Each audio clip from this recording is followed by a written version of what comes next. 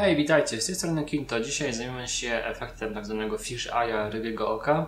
E, Będziemy chcieli z klipu, który został nagrany normalnie, uzyskać e, takiego rybiego, efektu rybiego oka. E, Jest to bardzo proste i to się bardzo szybko robi, a efekt jest zadowalający według mnie.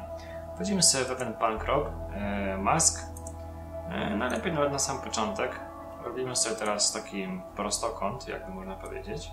Coś takiego robimy sobie. Trochę go przyniosę do góry. Bo nie jest tak na środku, bym chciał. Coś takiego robimy sobie. Teraz tym narzędziem klikamy sobie na e, końce, które mamy, aby nam się posta- aby nam się zrobiło takie, mm, może nie kółko, ale taki kształt e, rozciągnięty. E, I to, to tyle by było tutaj. Tak sobie zostawiamy. Teraz wchodzimy sobie w efekt Spherize, mm, sfery,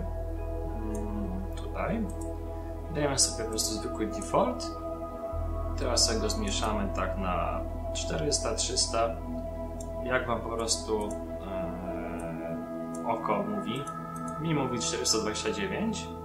I już jakby nie patrzeć mam efekt rybiego oka, ale oczywiście możemy sobie to przybliżyć i zostawić, ale jeszcze można dać sobie winetę. Soft contrast, e, winet, to wszystko wyłączyć, żeby nie dawało nam kontrastu i tak dalej.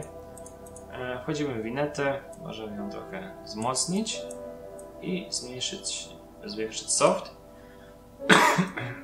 i corner poprawić. Mm, Coś takiego.